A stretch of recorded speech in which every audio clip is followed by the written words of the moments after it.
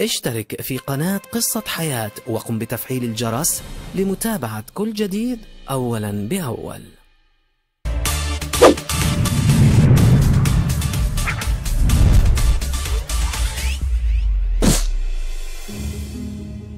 أشهر العلماء العرب والمسلمين على مر العصور.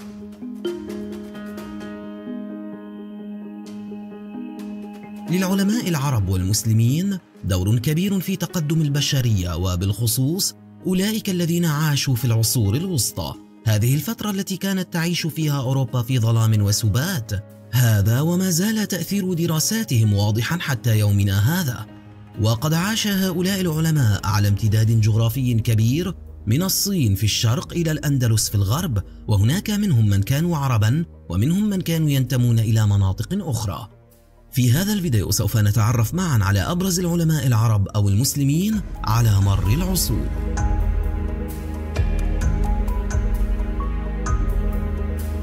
الكندي هو أبو يوسف يعقوب القحطاني. سمي بالكندي لأن نسبه يعود إلى حكام كندا وهو من مواليد الكوفة. ويقال إنه قد عاش بين عامي 801 ميلادية وحتى عام. 873 ميلادية وتوفي في بغداد. هو من أشهر العلماء العرب والمسلمين وله دراسات مهمة في كل من الجغرافيا والكيمياء والمنطق والفلسفة والطب وهو من أوائل المهتمين بإعداد منهج للبحث العلمي بواسطة الاستدلال والمقدمات حيث اعتبر أن العلم هو كل واحد وبنتيجة ذلك فإن العلوم تتطور مع بعضها البعض.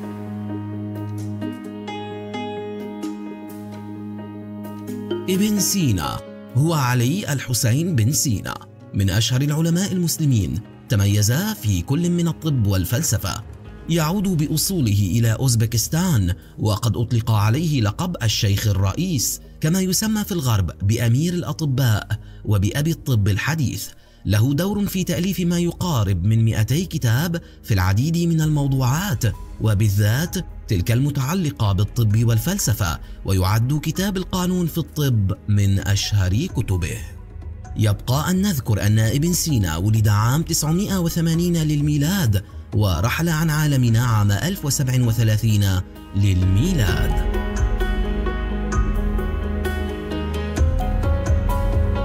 جابر بن حيان ولد سنة 721 للميلاد وتوفي سنة 815 للميلاد.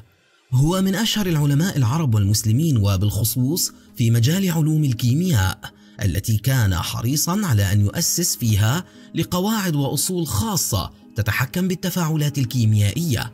وهذا عن طريق قيامه بالكثير من التجارب الكيميائية مما أوصله إلى العديد من الاكتشافات التي لم تكن معروفة في زمنه.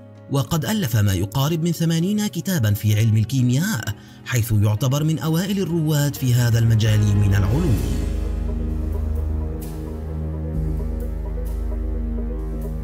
الخوارزمي ولد سنة 781 ميلادية وتوفي سنة 847 للميلاد. هو محمد بن موسى الخوارزمي من أهم العلماء المسلمين في عدة مجالات وخصوصا في الجبر والرياضيات والهندسة والفلك.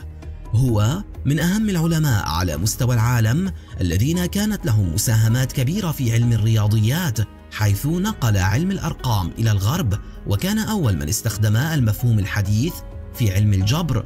كان حريصا على دراسة المعادلات من الدرجة الثانية بواسطة استخدام جذورها بالإضافة لاستخدامه علم الجبر في قضايا الميراث والوصايا.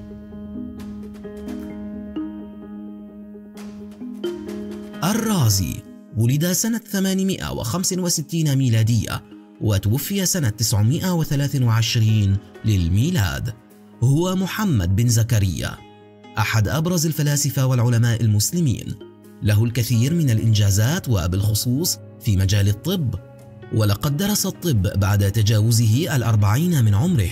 كان له اهتماماته بدراسة اكتشافات القدماء في مجال الطب. فكان حريصا على أن يدركها ويفهم محتوياتها دون أن يعتمد عليها فلقد كان يجتهد كثيرا إذا واجهته إحدى المشكلات الطبية. كان يستمع لآراء باقي الأطباء في دروسه وبعدها يبين رأيه في المسألة أو الدرس الطبي الذي يقوم بشرحه.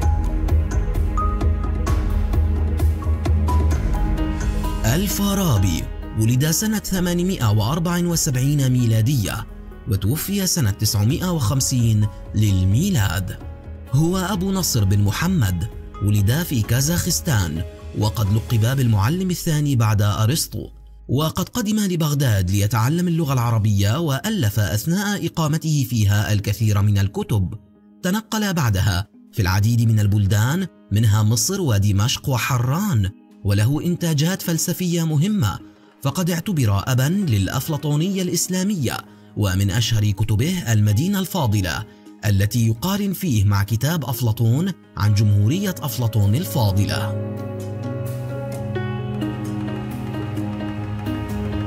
ابن بطوطة ولد سنة 1304 للميلاد وتوفي سنة 1377 ميلادية. هو من مدينة طنجة المغربية كان من بين الأشخاص العاشقين للرحلات ولتسجيل جميع الملاحظات عن مشاهداته. يعد من أهم الجغرافيين في مختلف الأزمنة قطع مسافات كبيرة بمفرده حيث تجاوزت هذه المسافات 75 ألف ميل. ومن أشهر كتبه تحفة الأنظار في غرائب الأمصار وعجائب الأسفار وقد دون فيه كل ملاحظاته ومشاهداته عن كل الأماكن التي قام بزيارتها. وقد ترجم كتابه هذا إلى الكثير من اللغات بسبب أهميته. كان له اكتشافات عديدة في رحلاته عن التغيرات المناخية في المناطق التي زارها ولقد قام برصد الكثير من الأمور والظواهر المختلفة التي تحدث سواء في داخل الأرض أو خارجها وتوضيح وجودها أو اختفائها. ابن رشد ولد سنة 1126 ميلادية وتوفي سنة 1198 للميلاد. هو أبو الوليد محمد بن أحمد بن رشد من أشهر العلماء المسلمين من مدينة قرطبة بالأندلس كان مختصا بالطب والفلسفة والأصول والرياضيات عين قاضيا لعدة سنوات ويعتبر من أهم الأطباء في زمانه.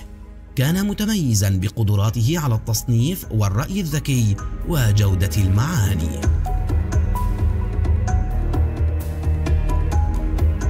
ابن النفيس ولد سنة 1210 للميلاد وتوفي سنة 1288 ميلادية.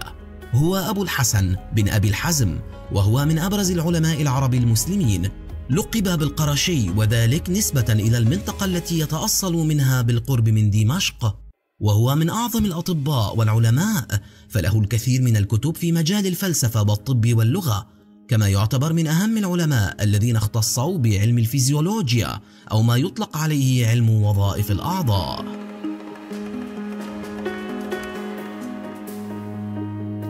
ابن الهيثم ولد سنة 965 ميلادية. وتوفي سنة 1040 للميلاد. هو أبو علي الحسن بن الهيثم أحد العلماء العرب المسلمين من مدينة البصرة في العراق.